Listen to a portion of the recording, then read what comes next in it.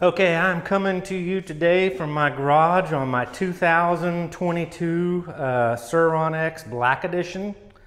And I've got my little uh, Nicaraguan boa today. He's getting some, some me time. He crawls up on me and goes into my hat and then just kind of looks around as I walk around.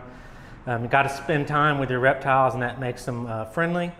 But so, uh, yep, you'll see him in the video. Maybe I'll put him on the bike. He's about two feet long. Uh, but today I'm going to get into, because uh, I don't see a lot of information online, I could get a lot more uh, specifically into this. It's going to be tuning the suspension, but today it's going to be more about um, how to do it, how to do it. And this is dealing with the Fastace rear shock and the Fastace front sh uh, shock um, or uh, suspension components. Um, so I'm just going to touch base with people because maybe there's some, I have a, an extensive motocross background um, all the way back from the 80s all the way up to the two, uh, 2000s. And uh, maybe I can share a little bit of my knowledge. Uh, but so here we're going to look at some of the things that you can do uh, factory to uh, kind of firm up your ride or make it ride a little bit better. All right, here we go.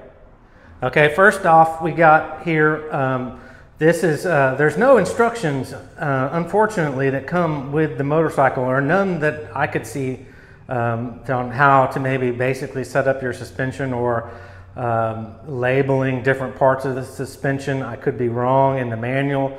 Uh, maybe I didn't look good enough, but this is most likely your compression setting here, and you've got a plus and a minus, and it shows you uh, arrow-wise.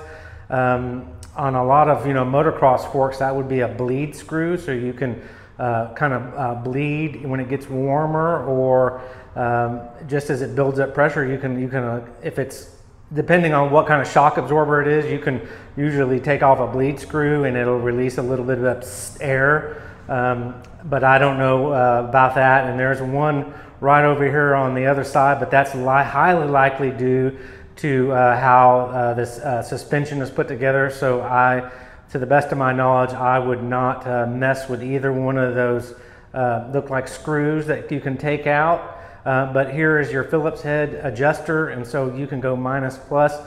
What this is going to do is this is just going to slow your suspension down through the stroke. So in a way, in a very loose way, you can kind of firm it up by you know moving it towards the plus or going all the way in this direction. It's going to slow the suspension down, but if you slow it down too much, then you will make your suspension too harsh because when you hit a big bump, it can't travel up fast enough to absorb that bump. So you just need to go, you know, turn it up a little bit or turn it all the way up and then go ride it and come back. Uh, and you'll be riding on the terrain that, that you're trying to tune this for. So if you're riding on the street and you just kind of really want to firm it up, it's going to be different than if you're riding on a uh, you know dirt with unlevel surface. So just keep that in mind. But you got your plus and your minus. Okay, hope that makes sense. Clear enough? Simple enough.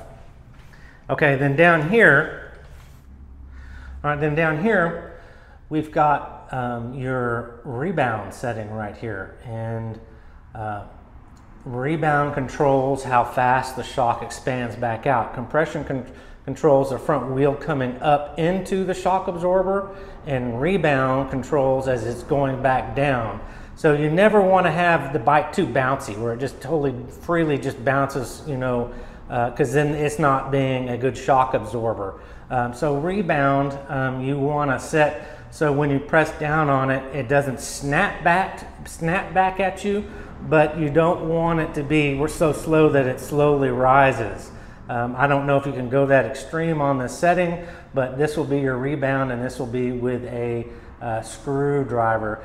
And just to tell you either the, you know, the compression up top or the rebound, um, you want to back that out all the way um, and that and you don't ever want to force it past much uh, if it starts to get tight and you don't want to because you can damage it but um, you want to back all the way off and then then you have your full setting all the way you typically to your right as you turn clockwise um, and that's how you control rebound and uh, yeah so Um, it, it's just be through trial and error, and um, you want to go out. I mean, you can put put your weight on the front suspension and really compress it down and see how fast things move.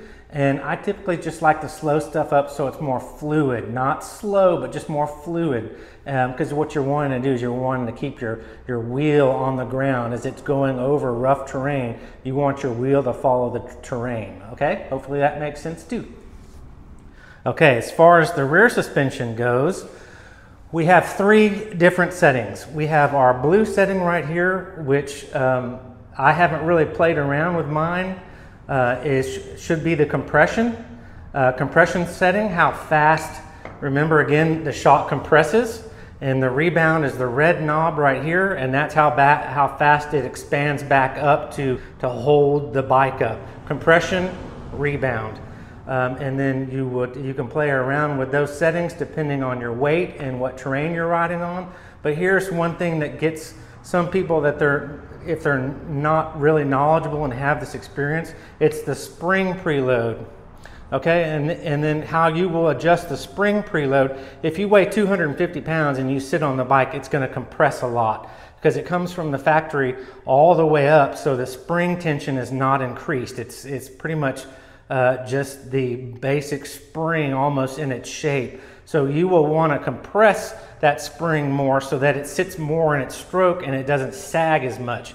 So there's a compression, uh, compression ring, collar ring here, what they call that, and it has little notches in it. Um, and then so you want to have some kind of tool. You can have a large screwdriver, but I don't like to use metal, uh, metal on metal. Usually makes it move uh, a little faster and you get a little bit more movement out of it, but I like to use wood.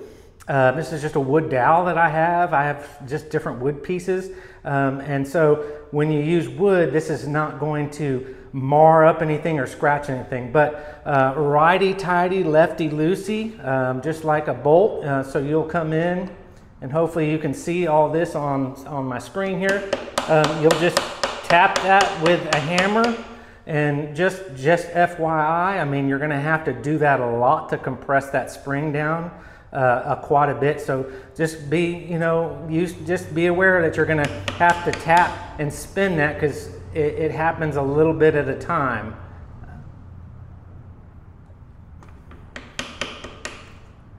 And then once you go too far, you don't want to hit your, your reservoir tank right here, your overflow, or your, your, it holds more of your fluid. Um, you want to come back and get on another, an, another one of those edges and just spin that all the way around until when you sit on the bike, you, you want to have some sag. You never want to sit on a bike and it not sag at all. Sag allows the suspension because when you're going over unlevel terrain, if your bike was so um, so stiff that it didn't compress when you sat on it, when you went over the unlevel ground, your wheel would not follow the ground. It would typically skip over. So being in control, having the wheels and you know power to the ground and, and your steering, everything to be more in control, you want your tires to follow the terrain. So when you sit on it, you, and realistically, because it's not a motocross bike, I think it's about three inches of sag, typically for a motocross bike with you know quite a bit better suspension. But maybe on this bike, an inch to an inch and a half of sag when you sit on it um, will allow um, your suspension to droop down into the low spots on the ground. Um, and so what you're doing here is you're just setting, so if you weigh 250 pounds and you sit on this and it sags down, the seat's now right here, then you need to stiffen up this spring. And so how you're gonna do that is you're gonna go, you're gonna go clockwise on this retainer collar so that's what you're going to do is you're going to tighten up and compress the spring. But other than that, you've got your rebound and your compression, and um, compression again slow as it, it's going to slow it down as it compresses, or it's going to speed it up so that it goes fast or it goes slow.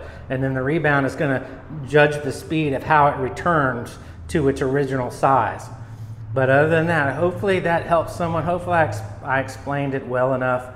Uh, my snake's kind of trying to get off my head, um, and uh, he's kind of distracting me.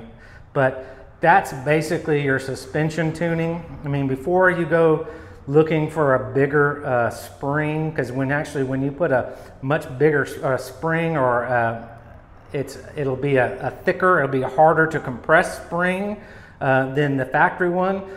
Typically, if you do it right, you have to revalve the shock because um, the shock should be valved for this this spring tension.